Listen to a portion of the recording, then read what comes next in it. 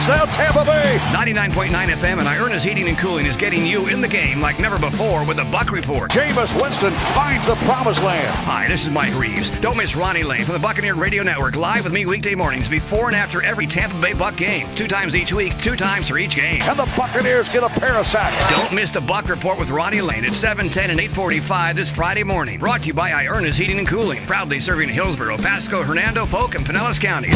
IernaAir.com.